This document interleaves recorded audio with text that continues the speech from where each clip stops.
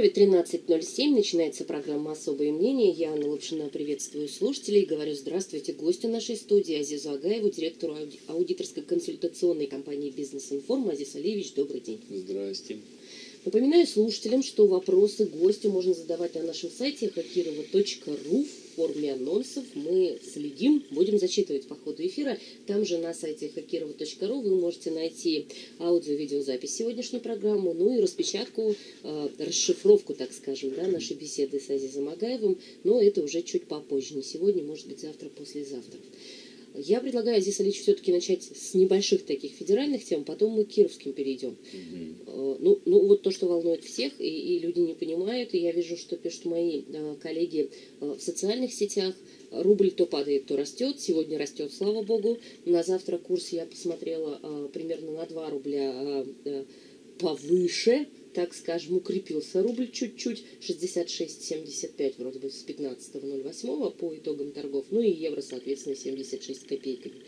Вот, но тем не менее э, доллар под 70. Угу. Что происходит? Ну, у нас эксперты, э, экономисты говорят, да, с чем это связано, то есть санкционные списки США, э, Вчера, насколько я помню, там утвержден очередной оборонный бюджет США, много-много-много всего, международная напряженность. Вот. А, а в России люди не знают, куда бежать. Менять рубли на доллары или сидеть тихо.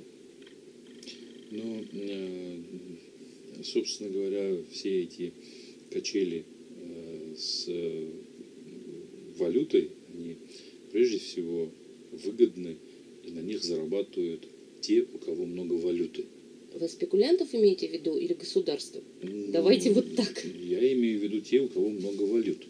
То есть кто имеет возможность оперировать большим количеством валют. То есть просто обычный человек, который вот он сейчас побежит, там, купит, вот смотрите, если вы бы вчера купили валюту, а сегодня бы решили как бы его продать, мы еще не знаем, что будет к 1 сентября, хотя прогнозы там есть, что, э, что там в сентябре э, и 70 там может быть, а там, в октябре и там еще больше там, и так далее. А может и не быть. А может и не быть, потому что курс валюты э, на самом деле мы всем событиям можем видеть, что это вопрос э, не экономический, а вопрос политический. И, и по двум э, причинам. Первая причина, почему он политический, потому что при определенных условиях э, наши экономические власти, в принципе, могут увеличить курс рубля поддержать. Поддержать таким образом, что его... То есть могут начать продавать валюту, Могут начать продавать рубли. валюту, могут сказать тем, кто валюту покупает, так, пацаны, значит, там стоять всем. Значит, кто не будет стоять, значит, ничего не будет, ни рублей, ни валюты. Рычаги есть. Да, рычаги есть.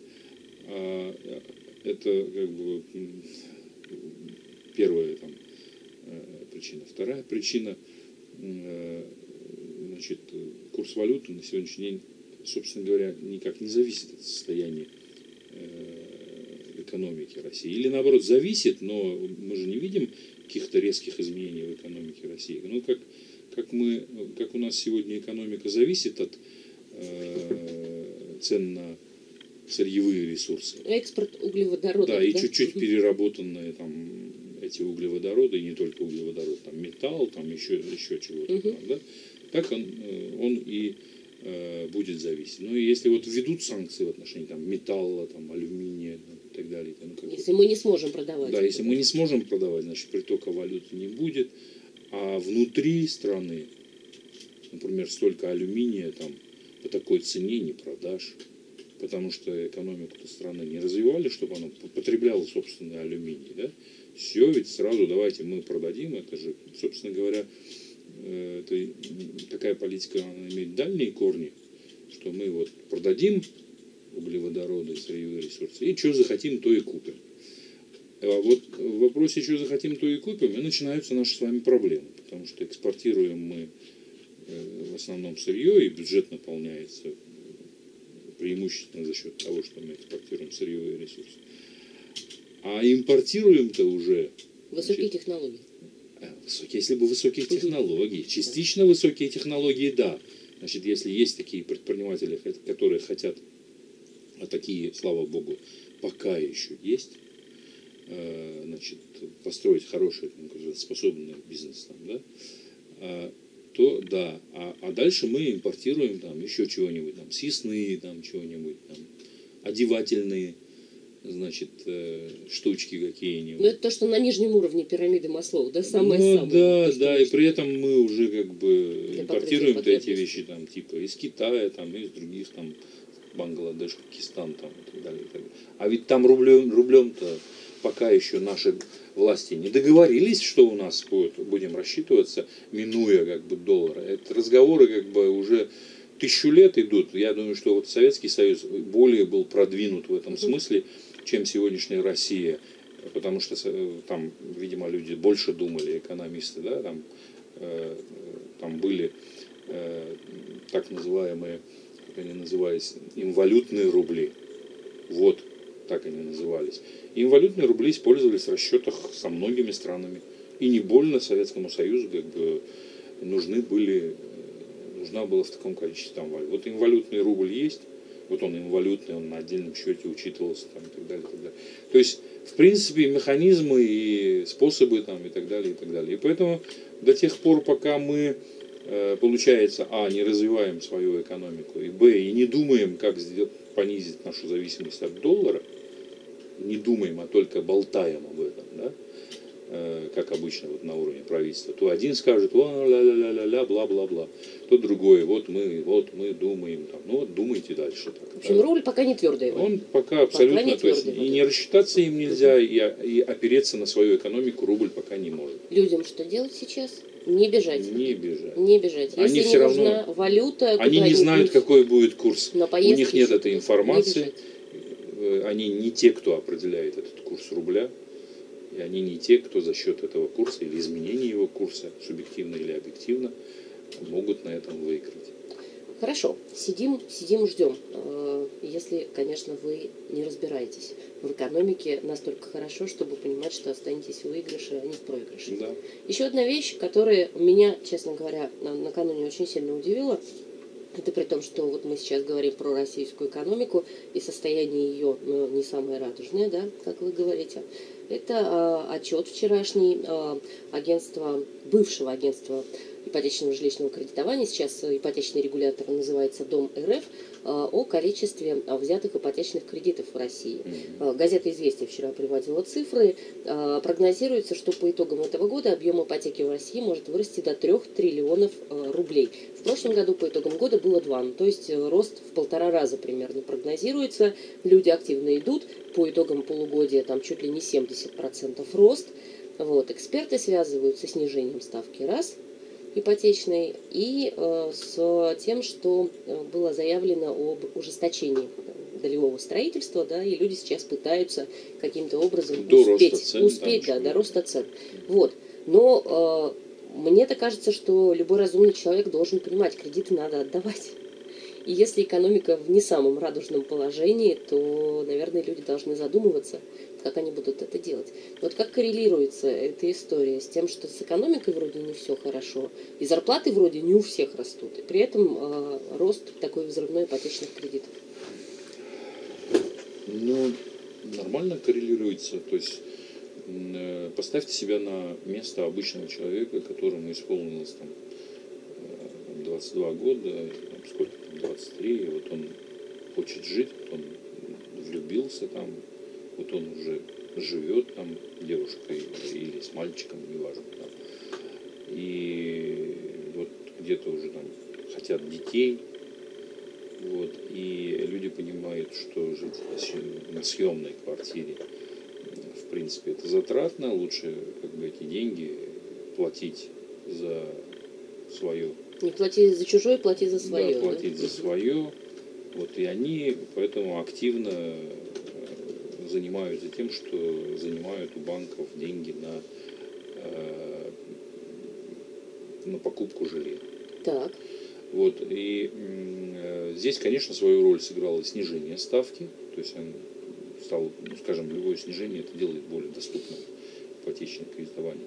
И где-то поддержка государства там определенных там, категорий тех или иных, там, да, где поддерживается то ли региональными, то ли федеральными, я сейчас как бы точно этих программ не знаю, как, но Ну, я есть знаю, что они- механизмы, есть. да, но они как бы применялись, да.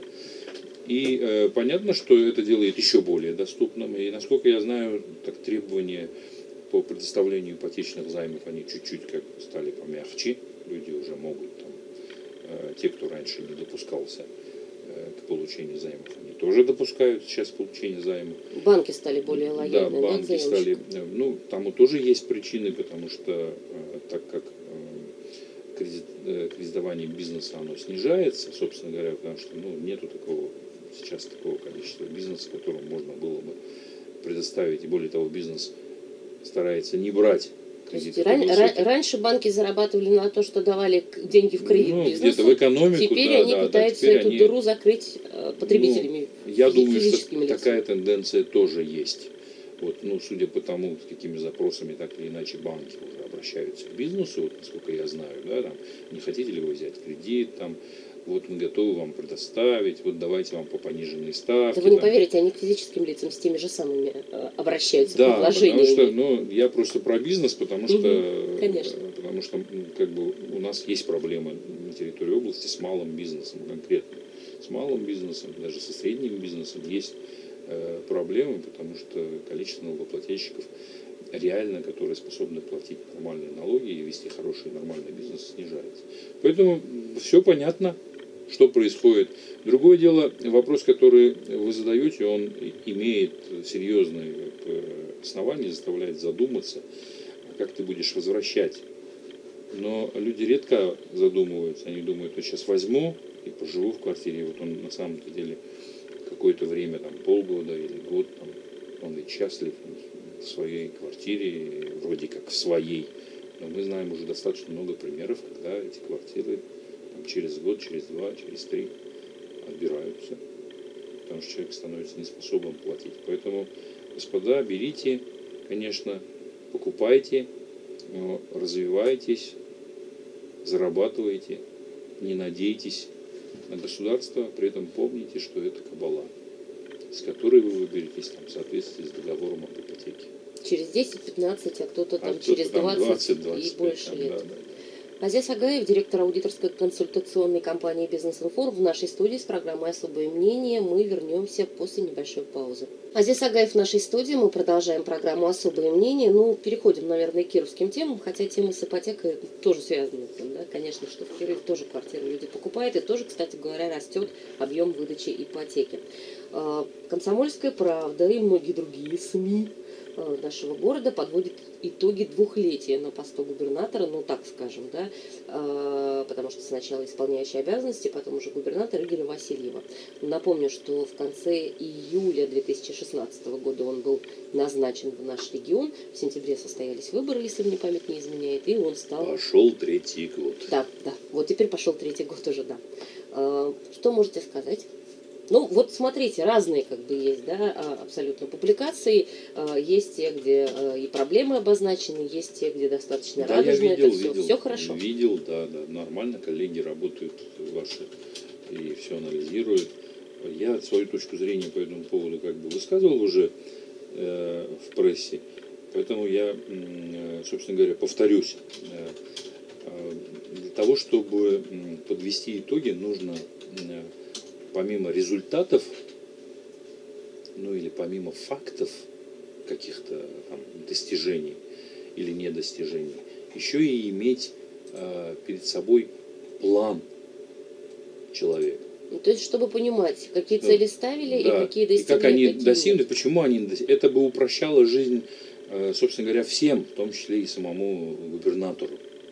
Потому что ну, всегда, на самом деле, мы, даже когда там э, стратегические составляем программы, мы всегда да, в любой программе, ну, те- тот, кто понимает, что такое стратегическое управление, там все время э, красной нитью проходит, что любая стратегическая программа, любая стратегия подлежит корректировке ежегодно, потому что меняются условия деятельности. Э, А условия, они бесконечные, как- как там, финансовые условия, там, ресурсные условия, там, ну, какие угодно, там, обстановка и так далее.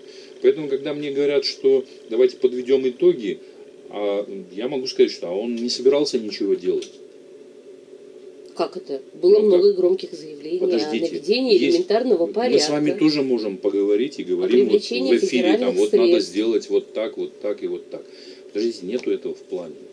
Мы, мы видели единственный вот этот просто так называемый секретный, секретный финансовый план, который там через, Исчез. через вятский наблюдатель там появился там. Исчез с сайта обнародован. сначала, да, Да, а потом было вот. обнародовано. было обнародовано. И по нему, да, вот этот план, он реализуется, видим, как бы, значит, э, за счет, как бы, э, финансов Кировской области, там, возвращается долг перед, э, Минфином перед федеральным. Минфином, да. Ну, видим, да, как это э, влияет на э, нашу жизнь, там, и так далее, и так далее. А, А, больше, как это, а как это влияет? Я вот, честно говоря, не понимаю, как влияет возвращение долга федеральному Минфину Ну, посмотрите, вы можете жизнь. просто по сферам, там, ну, правда, тут у каждого может быть свое мнение, но там, по факту, по сферам, там, да, там, качество образования падает, качество медобслуживания падает, там, э, количество, э, значит, квалифицированных работ, рабочих мест. Вопрос не растет, скажем так, мягко, как бы, скажем. Ну, там, видим, да, дороги, например, там, вроде как больше э, строится, но я про качество дорог, ну, не специалист. Но про качество мы сейчас Да. и не скажем. Качество в следующем году будет да, понятно, да, да, какое да, да. было. Не скажу, там, э, например, там, качество, например, государственного управления, с моей точки зрения, падает.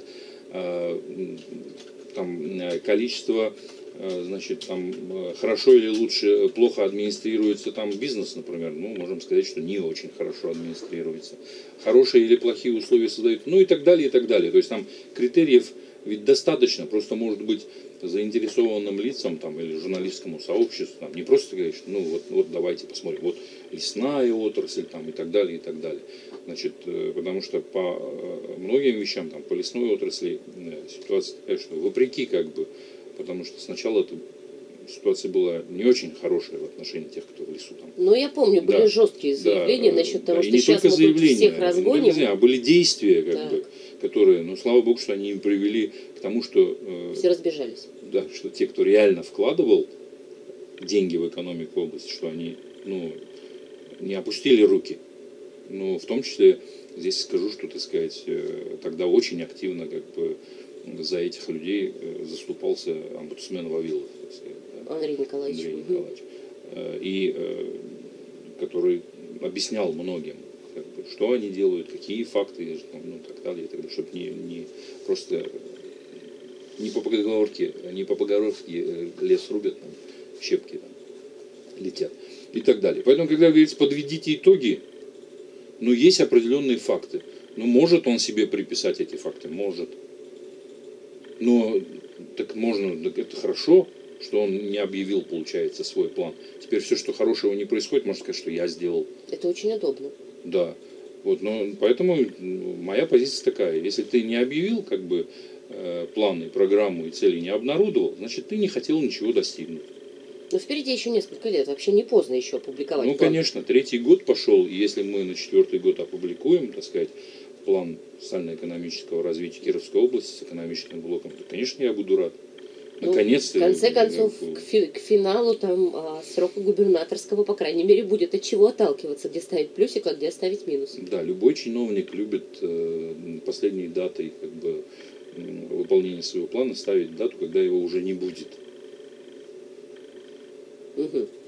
То есть я не удивлюсь, если они программу и план сделают там, ну, типа 2025 там, год или 2030. А почему вы думаете, что Игоря Васильева здесь не будет в это время? Ну, предполагаю. М, Он пока вроде так активно э, готовит город и область к юбилею Кирова М. к 2024 году, что есть ощущение, что он здесь собирается задержаться. Ну, давайте посмотрим, когда будет план. Давайте. Да, и потом мы с вами, ну, даст Бог, как бы, потому что человек ну, предполагает, Бог располагает, мы с вами, может быть, также вот посидим и обсудим в 2024 году, э, значит, или 2025 году. а, Удалось ли и- добиться И, вы мне будете говорить, э, значит, там, типа, давайте подведем итоги девятилетней работы, значит, э, губернатора Кировской области. Ну, давайте подведем. Хорошо. Ладно, подождите, Азиз Алич. Ну вот, э, кро- кроме смеха и шуток, смотрите, все-таки, ну вот одно, одно событие такое, которое было изначально со знаком минус, э, в плюс таки вывернули. Я имею в виду авиакомпанию «Победа». Э, Сегодня в 11 часов здесь был первый зампред э, правительства Александр Чурин, который э, в эфире в прямом признался, да, уход «Победы» и, и расшаркивание такое с ней вот там, и расплевались, и разошлись, да, это э, была ошибка со стороны областного правительства. так, да, да, я, это он в эфире сказал, да, он сказал Да, в эфире, ну, что это была ошибка. Ну, Не хорошо. рассчитали, не просчитали. Победа вернулась.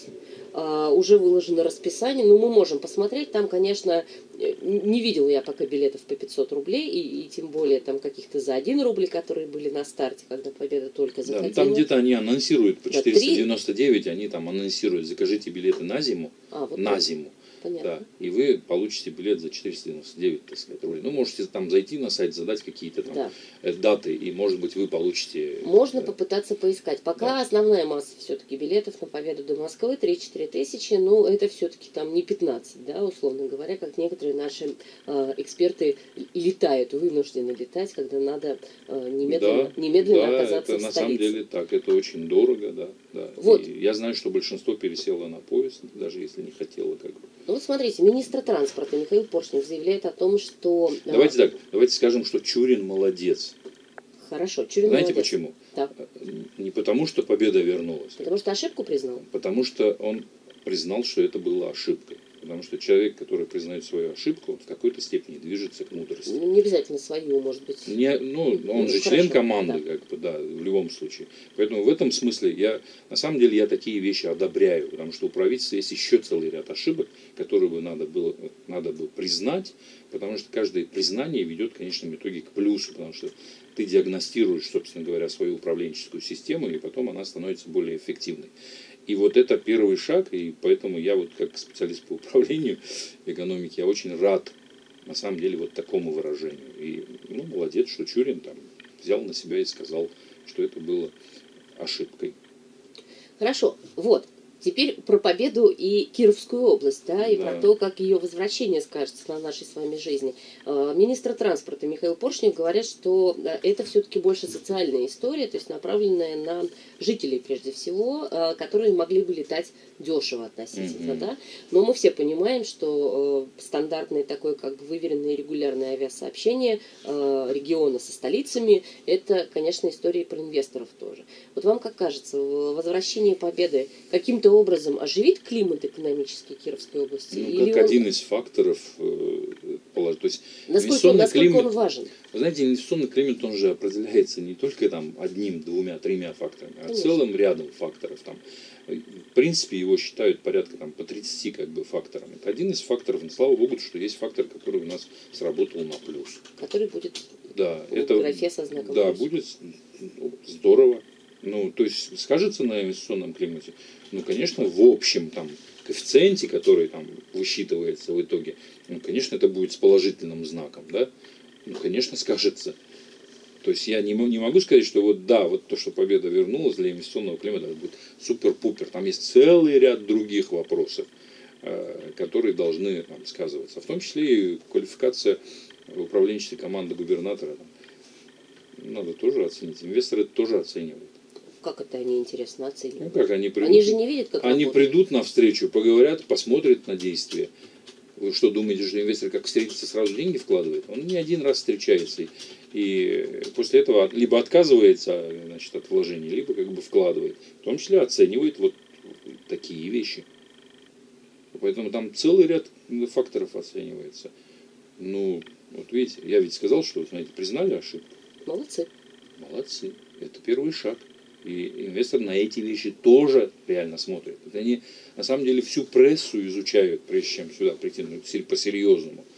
Они, э, я особенно там иностранных инвесторов имею в виду, они прослушивают массу вот таких передач, как бы, прежде чем э, принять такое решение. И прислушиваются ко всему, что говорится, не только э, тому, что говорят члены правительства, но и там целый ряд бизнесменов, что публикуется, какие там результаты встреч, проверок там, и так далее, и так далее. Поэтому А, ну вот оно получается, почему критиковать-то не надо. То есть мы критикуем, а потом оказывается, что какие-то инвесторы в Кировскую область не приходят из-за этого, и потом э, Кировская область хуже живет. Ну, смотрите, Они слушают, покритиковали. А потом говорят, а какая была реакция? Ага. Выправляется ситуация или нет? Управляется или нет? Потому что если тишина, это пугает инвестора. А если есть динамическое как бы, положительное действие, это привлекает их. Потому что, что тишина, это означает, что что-то скрывают. То есть фактически надо не только признавать ошибку, но делать это публично и говорить, что да, вот И здесь были исправлять, неправы, конечно, да, сейчас конечно, исправим. конечно. Ну вот исправили, как бы, пошли, значит, к победе на поклон. Молодцы. Сейчас еще про одну а, победу поговорим. Азиз Агаев, директор аудиторской консультационной компании а, «Бизнес Информ» в нашей студии. Вернемся через две минуты. 13.35, 10 минут остается до завершения программы «Особое мнение». Напоминаю, слушаем мы сейчас Азиза Агаева, директора аудиторской консультационной компании «Бизнес Информ». Еще одна тема, связанная со словом «Победа», «Парк Победы», развитие всей этой истории, которая как-то очень вяло идет, честно говоря. И в социальных сетях уже многие спрашивают, где же, собственно говоря, первые названные виновники, потому что сколько ж можно-то, да, дело уголовное идет в отношении то ли не названных, то ли не установленных лиц, а, а, потенциальные фигуранты, кто в Кирове, кто не в Кирове, и люди а, пытаются понять все-таки, а, будет какая-то кровь чья-то прольется или нет. Ну нет, ну мы не настолько Да, да, да. кровожадные, Мне, конечно, мне нравится, тем не менее. мне нравится это понятие ваших коллег, там, неустановленные лица. Это не мое, не мое, это Следственный комитет. Ну, я- мне нравится, как они, м, можно такое слово употреблять, стебаются над... Да, пожалуйста, это литературное слово. Да, да, да, да. Э, Это хорошо. Ну что, что, какие тут, что мы спрашиваем, что нам надо? Айзис Алиевич, будет, будут названы лица или не будут названы лица? Если да, то это какие будут лица? Ну, наверное, они будут названы рано или поздно, при любом варианте. При любом варианте будут названы. Но те, кого они уже допрашивают, это уже лица, как бы так или иначе, вовлеченные в это дело. Ну вот, э, я с- со Следкомом не разговаривал, но Мгм. что публикуют журналисты, там, там целый ряд фамилий уже назван. Ну, вот Ефакин, Миронов, там, значит, э, э, ну, там, Быков, э, кто там еще? Но Владимир Быков сейчас на отдыхе за пределами России. Ну вот комментарии. Надеется, что комментарии Следственный комитет дает. поставит жирную точку в этом деле. Да. Азиз Алич, все-таки, вот смотрите, э, история такая. Есть город, есть участок земли, принадлежащий городу. Этот участок земли продается за смешные деньги, ну, передается за смешные деньги, да, э, новому собственнику. Город теряет эти деньги. Сейчас уже э, опубликовано, что город потерял как минимум 9 миллионов рублей на этой истории. Участок, Мгм. как я понимаю, будет возвращен. Э, Кого накажут? Все-таки самого высокого руководителя, я напомню, что главой города был как раз Владимир Быков в тот момент, да, когда окончательно эта история решалась, или, э, э, ну, скажем так, сойдутся на лицах, которые э, подписывали бумаги. Ну, обычно сходятся на лицах, которые там э, подписывали бумаги. Но если Следственный комитет э, ну, достаточно эффективно поработает, найдет там, э, кто влиял, как влиял, если вдруг они установят, что э, Быков так или иначе был заинтересован и влиял на этот процесс, значит, э, он тоже будет, я думаю, он тоже отвечать. Угу. Несма- Несмотря, Несмотря на на то, что голосовали России там, высокий да. государ- государственный пост. Ну да, я думаю, что, ну, что мы мало видели в России членов Единой России, там уровня Быкова, которые так или иначе э, в конечном итоге за совершенные э, преступления были осуждены. Вы думаете, у следствия есть намерение все-таки довести дело до конца, а не спустить на тормозах? Потому что СМИ пишут, что чем дольше не называются так называемые неустановленные лица, тем больше шансов, что замнут. Если речь идет о деле, я считаю, что если вообще подняли это дело, то так или иначе, наверняка, как говорит Быков, жирная точка будет поставлена. Просто непонятно, кто будет субъектом как бы, этой жирной точки в конечном итоге. Да? Пока, Кого, пока кого непонятно, выставят крайним? кого выставят в этой ситуации не то что крайним, а Виновным. кто будет виновным. Да, и э, самое это интересное в этой ситуации, что э, вот когда рассматривалось, ведь прокуратура обращала на это внимание, помните, да? Когда самое интересное, что даже в этой ситуации, когда м, видно было сразу, что городу нанесен ущерб, суд, рассматривая это дело, подошел чисто формально. Вот по закону вот есть решение Думы? Есть решение. Все подписали те, кто должен был подписать какую-то бумажку. Все подписали. Есть там такая-то бумажка, есть такая-то бумажка. Понимаете, у нас э, вот, э, вот эта ситуация, она привлекает внимание еще и к судебной системе, что судьи уже нас, настолько привыкли рассматривать дела формально в отношении обычных граждан. Потому что когда приходишь в суд, первым делом суд что делает? Он формально смотрит, что там, как, как правило, так сказать, не вникая там, вот по сути. То есть, как говорят, э, как правило, без внутреннего убеждения, что там, хотя он должен там в соответствии с внутренним убеждением принимать э, решение, да, а вот, вот такой формальный подход был применен при рассмотрении этого дела, когда прокуратура заявляла протест. Понимаете? В отношении муниципального имущества. И я думаю, что э, товарищи из э, вот судеб, судебного сообщества, да, судейского сообщества, они должны точно провести у тебя, пусть секретное совещание по поводу того, что, господа, хватит дела рассматривать формально. Только рассмотрев формально в этом деле можно было встать на сторону тех, э, на сторону тех, кто купил этот участок и не возвратить его городу. А вот следком получается. Ну, и, и, как говорят, ФСБ там, да, угу. э, настаивали и подошли неформально. Они посмотрели, что да, как вы говорите, нельзя продать участок за 300 тысяч, который потом продается за 130 миллионов. Ну, ну, очевидная же вещь-то, господи. Но если его можно за 130 продать, так выставьте на аукцион, черт вас возьми. И пусть город получит дополнительный миллион. Ну что за позор такой вообще? Пусть придут те, кто купит за реальные деньги. Конечно, и, и честно, и, и, от этого да, и хорошо. честно, и, и, и так далее. Да у нас много так делается в нашем обществе, господи. Азиз Алиевич, еще хотела ваш комментарий спросить. Две минуты у нас остается. Mm-hmm. А, все-таки вот для компании Киров спецмонтаж, которая является приобретателем этого участка да. уже за реальные деньги, который, как я понимаю, а, встрял достаточно серьезно, да, если можно использовать это слово, потому что участок, я так понимаю, у них отберут. Ну, посмотрим. Ну, так-то они как бы попали в эту ситуацию. Я не знаю, почему. Это серьезно, ведь э, почему, для, для компании да. серьезные, большие... У меня такое впечатление, что Миронову отказало чувство, чувство, как это сказать, осторожности, что ли, как бы в этой ситуации. Э, потому что, ну, не знаю. Но понятно, что после того, как суд утвердил, что все было законно, наверное, у него ослабло чувство как бы осторожности. Но, но даже если суд это утвердил... Не один, не один суд. Там да, да, но если даже суд это утвердил, была. ну по совести, даже ты же понимаешь, что это э, неправильно. Может быть проблема. Да, вот, поэтому, поэтому не знаю, вот человек, который получает там э, звание почетный гражданин Кировской области, ну, с моей точки зрения, не должен был покупать эту землю.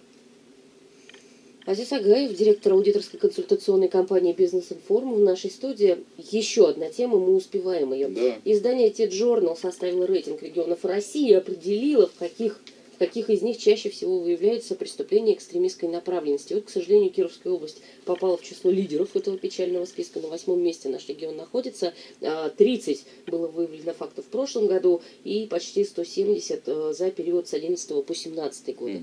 Вот вам как кажется, а, эта история с лидерством Кировской области в подобном списке, понятно, что это не самая хорошая история, но профилактировать эти вещи как-то можно? Да, тут вопрос, напоминаю, тут вопрос как бы, тут вопрос заключается в том, что э, ну, я вот лично думаю, что есть часть, часть дел, которые, в принципе, были для галочки, наверное, сделаны. В принципе.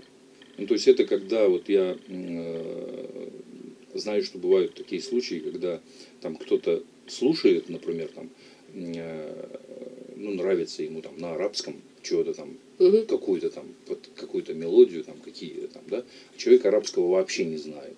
И вот он понравилось ему, скачал в себе в телефон. Содержание не понимает, не а понимает. следователи потом находят. А следователи потом находят, и вот, как бы, да. вот, понимаете. Полминутки у да. нас. Вот в основном э, люди, как мне кажется, которые совершают э, подобные преступления, совершают их по незнанию. Нужна какая-то профилактическая работа в школах, обязательно, в вузах, еще Обязательно, обязательно. В этом смысле, э, хоро- хорошие дела делает там у нас. Но просто э, почему-то власти на это внимание не обращают и не э, привлекают туда большее количество молодежи. Вот помните этот форум-то «Религия против терроризма. да. Там очень часто об этих вещах говорят. Вот надо широко распространять как бы, этот опыт и привлекать людей и рассказывать им, ну, особенно молодежь. Ведь надо вести работу среди молодежи. Поэтому спасибо тем, кто организует вот этот форум «Религия против терроризма» и властям, и в том числе милиции и э, другим правоохранительным органам широко надо этим заниматься.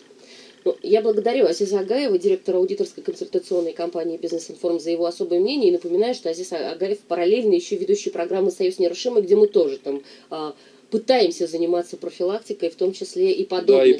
просветительской работой, Потому конечно. что мы каким-то образом слушателям нашим даем больше информации о людях разной национальности, хорошей Да. информации. И религии. И религии. Да. Спасибо. Азиз Агаев, программа «Особое мнение» на этом До завершается. свидания. До свидания.